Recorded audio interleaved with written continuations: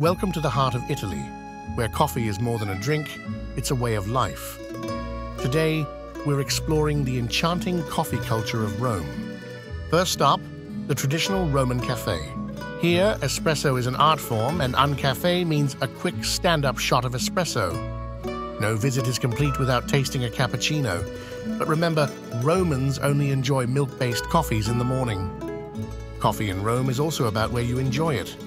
The city's piazzas are filled with cafes, offering the perfect spot to people watch and soak in the ambience.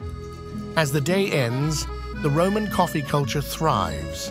From the first espresso shot to the last sip of the day, coffee here is a timeless tradition.